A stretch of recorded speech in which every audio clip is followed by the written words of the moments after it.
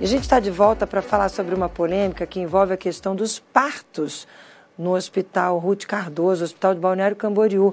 Dois casos de gestantes que deram à luz fora da unidade depois do atendimento. Dois casos que, claro, chamaram muito a atenção. Vamos ver na reportagem.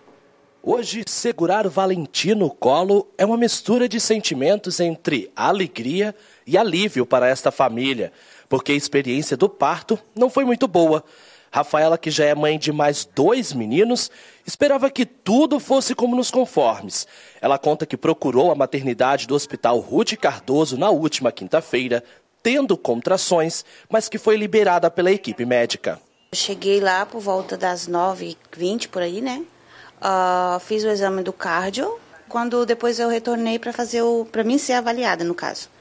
Daí a médica que estava no plantão me examinou, ela falou que eu estava de 2 para 3 centímetros e mandou eu ir caminhar. Fiquei caminhando lá na, no hospital mesmo para me ser avaliada novamente, para ver se tinha evoluído o quadro. Outra médica veio e me examinou. Aí ela foi e falou assim, ó, é, não evoluiu nada para te internar, porque tuas dores não aumentou, não são contrações, o que tu está sentindo ali é normal para um final de uma gestação, e tu vai para casa descansar, Voltando para casa, que fica no bairro Tabuleiro, em Camboriú, Rafaela disse que deitou um pouco para descansar, mas acordou no meio da madrugada sentindo fortes dores. Eu olhei a hora para cronometrar as dores ali, as contrações. Aí fui no banheiro, estava sangrando muito. Daí já falei pro meu marido, ó, a gente tem que ir pro hospital. E procurei a roupa, uma outra roupa para vestir. Só que quando eu vou, porque daí eu já estava fazendo é, muita vontade de fazer xixi, né?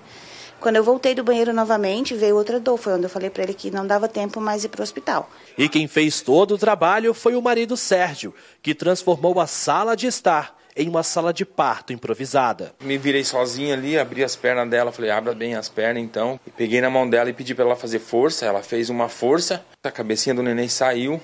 No que saiu a cabecinha, eu falei para ela, agora só mais uma força, amor, por favor, só mais uma força. Você consegue, você é forte. Ela foi, fez outra força, eu consegui pegar ele pelos ombros aqui. Estes vídeos feitos pelo Sérgio mostram o momento em que o bebê já estava no colo da mãe Rafa e o atendimento realizado pelos bombeiros. Eu mesmo fiz o parto, a vizinha tá me ajudando aqui, ó. Graças a Deus o SAMU chegou aqui em casa.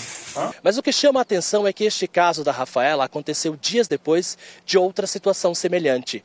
Uma gestante com 41 semanas relatou que teria sido liberada pela médica porque estava com pouca dilatação. Mas a mulher deu à luz dentro do carro, aqui mesmo, no estacionamento do hospital. Essas imagens foram gravadas minutos depois que a mulher ganhou o bebê e mostram funcionários da maternidade prestando atendimento e levando a criança e a mãe para o centro obstétrico. Já a administração do hospital reafirma que os protocolos foram cumpridos nos dois atendimentos. No caso da Rafaela, eles realmente liberaram a paciente porque não constataram evolução no quadro. Porém, sobre a mãe que deu à luz no estacionamento, a direção afirmou que a gestante resolveu sair por conta própria. O protocolo do hospital ele recebe todas as pacientes por meio de um cadastro.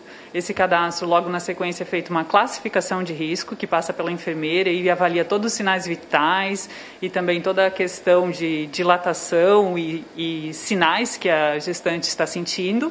Então, a gestante é internada a partir do momento que já existem sinais de um trabalho de parto efetivo. Antes disso, ela fica em observação, é orientado caminhar para reavaliação. E aí elas são reavaliadas em duas a quatro horas e, se sim, entram em trabalho de parto efetivo, são internadas, se não, são orientadas por uma questão de humanização, por uma questão de aconchego do lar, de bem-estar, a retornar às suas casas e retornar com sinais de alerta de trabalho de parto efetivo. Gente, a mãe falou que procurou a maternidade com contração e eles não perceberam a evolução do quadro. Aí a mãe chega em casa e tem o filho. Triste esse registro, muito triste essa situação. Claro, a gente continua acompanhando, sei que vai ter outros casos de crianças